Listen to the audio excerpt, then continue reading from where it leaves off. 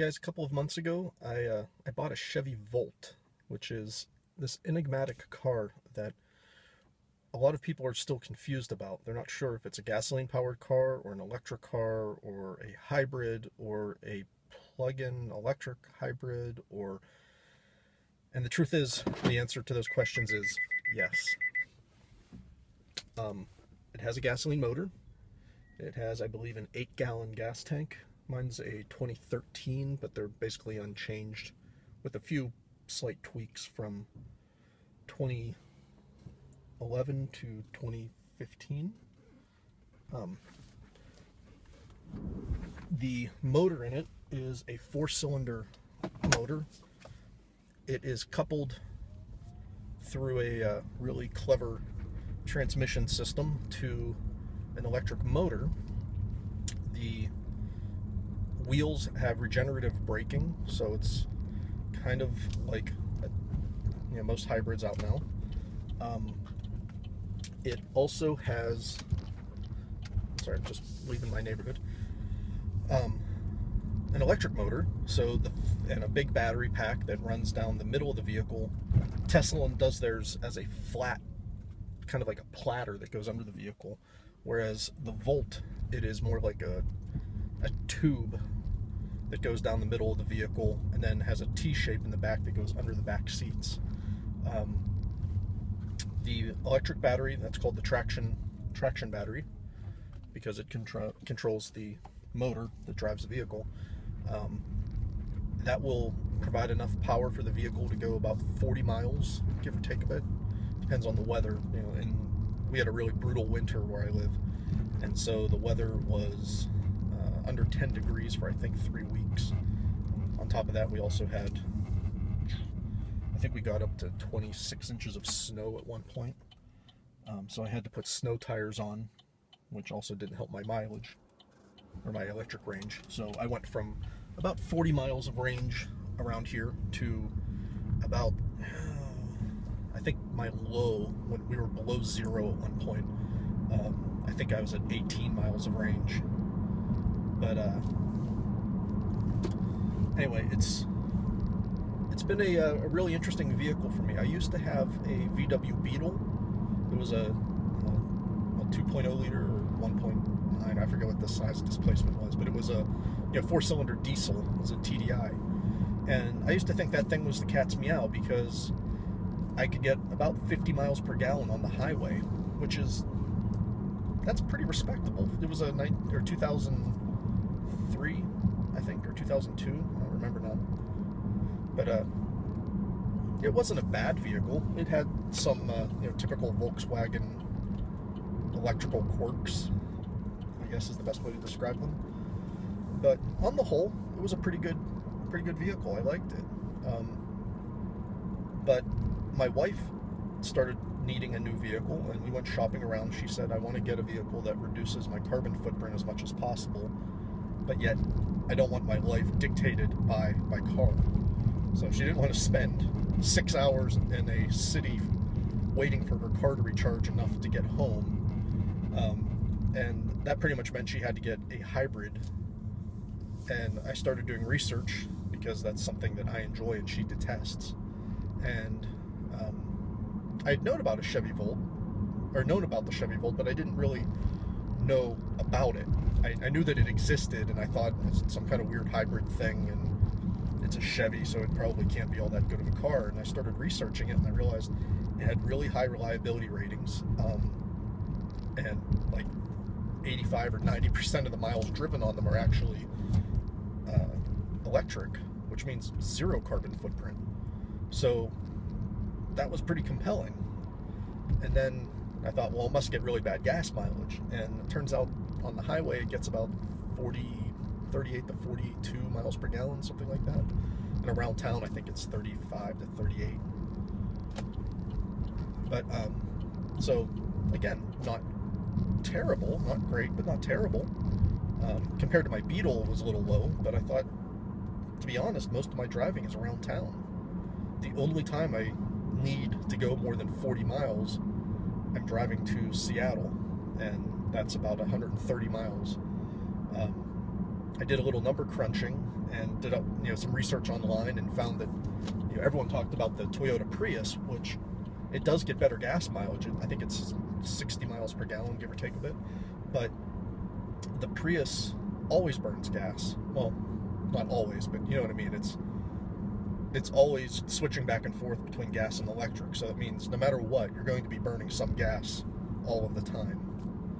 Whereas in the Tesla or the uh, the Chevy Volt, the first 40 miles, give or take, whatever, depending on the year, like I said, um, the first okay, I'll be a little bit conservative. I'll say the first 30 miles, um, no no gasoline's burned, and that was most of my driving is going to be less than 30 miles almost all the time.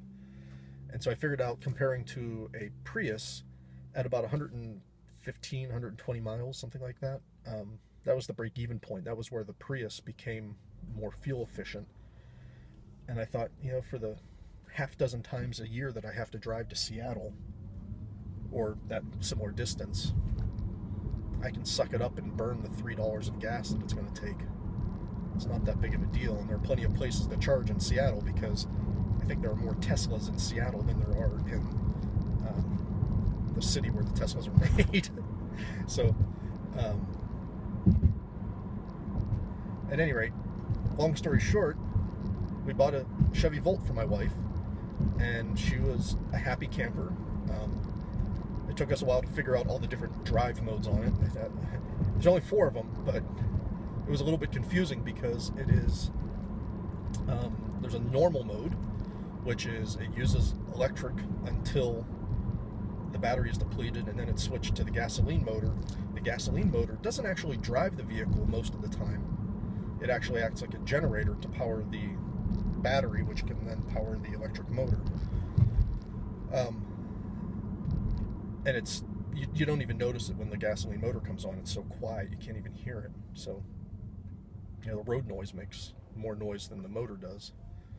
They've got some pretty impressive hydraulic dampers on the motor mounts to keep it quiet. Um, and then there's a sport mode. The sport mode just basically says efficiency be damned. I'm going to crank the power and it it just increases the acceleration a little bit. It doesn't do anything for the top end. The vehicle's limited to 100 miles per hour top end. I think it's 101 or something like that. I don't remember exactly, but um, it's a very aerodynamic vehicle. Uh, there's not a lot of road noise inside. You can hear right now I'm driving, and it's darn near silent. I, I turned the fan off because it was making uh, a little bit more noise than I wanted for the uh, for recording not that that's a lot of noise, it's just that it's. You notice how much noise it makes whenever your vehicle is completely silent. It's interesting. Um, and then, uh, see other drive modes. There's mountain mode, and mountain mode will, um, if you have a full charge on your vehicle, you don't notice any difference in mountain mode until you've consumed half of the battery capacity. When you get down to about 50% battery capacity, it switches into the hybrid mode, so it switches back and forth between gas and electric in such a way that it maintains about a 50% charge on the battery.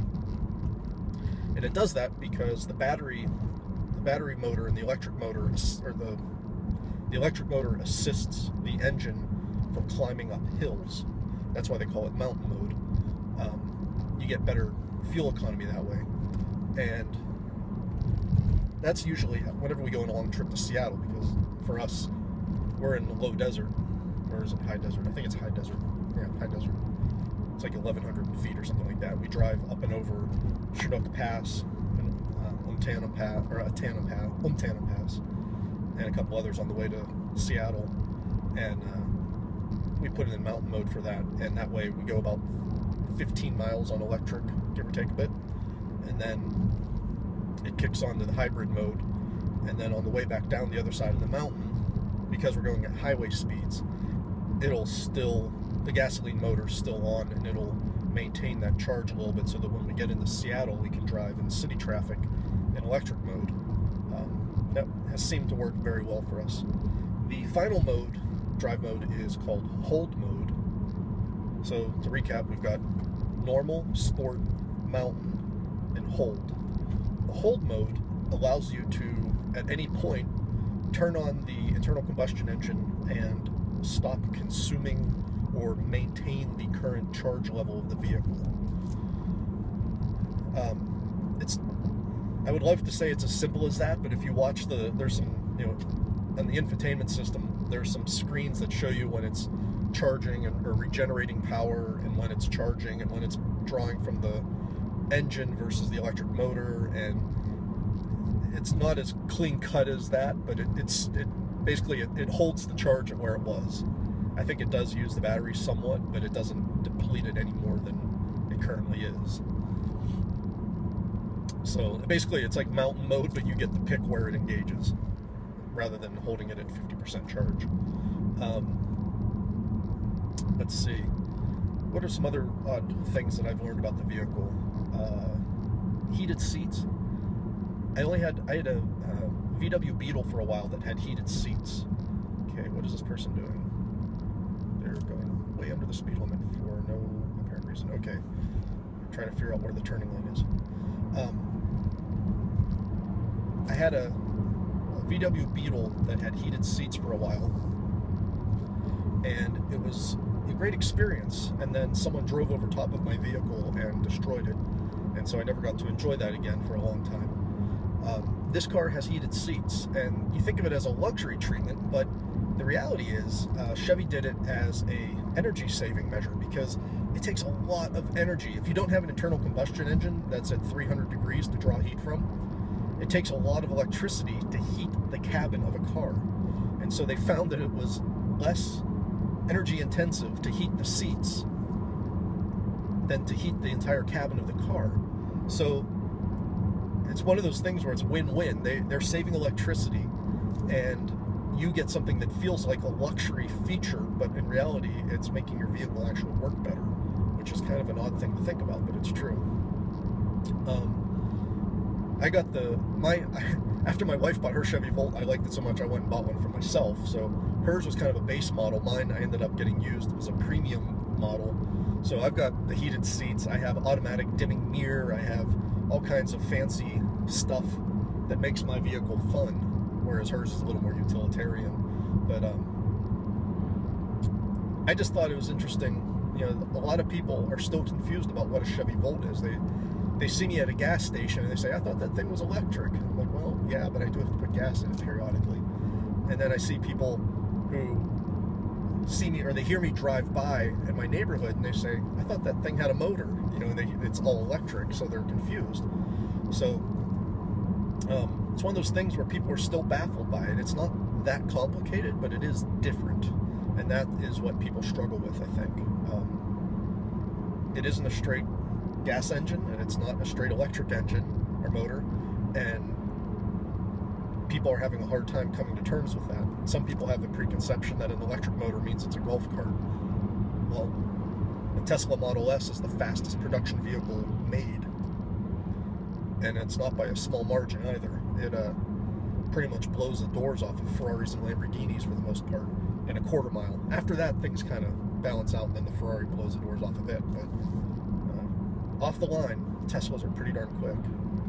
Um, this one, it's not a performance vehicle and it's not a hundred thousand dollar luxury vehicle either, so it's it's not going to keep up with the Tesla. But zero to thirty, it's surprisingly sprightly. It's uh, it'll it'll pin you in the seat a bit, and uh, it makes driving exciting. I'll give it that. So I'm just going on a little hike today. I thought I would just spend some time on the drive to share my thoughts on the Chevy Volt because I think more people need to know about it.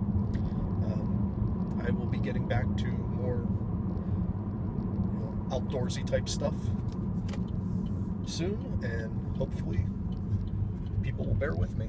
All right. Thanks, folks. Have a great day. Bye.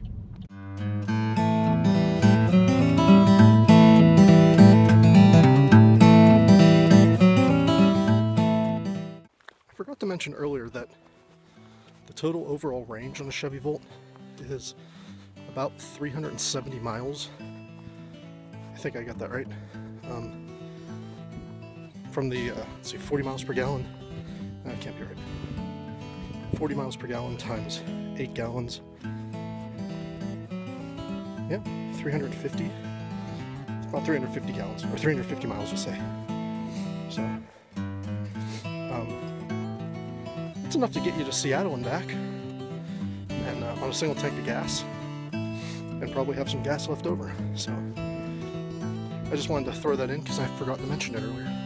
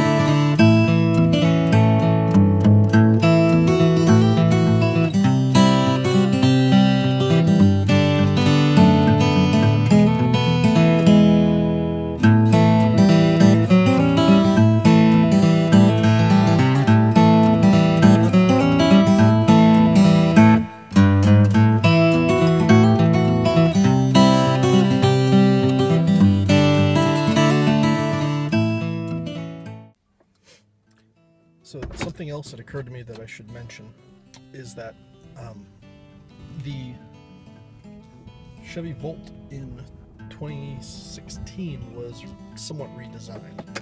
They didn't um, do a, a, full redesign, but they made some changes to the battery, uh, made it a little bit bigger, a little bit lighter. They made the engine a little more powerful, and they made it able to run on regular gasoline previous generation, uh, 2011 through 2015, all required premium gas. So the upshot of making the battery lighter and making the engine stronger and the electric motor stronger is that the vehicle actually is able to go, I believe, 50 miles is what it's rated at.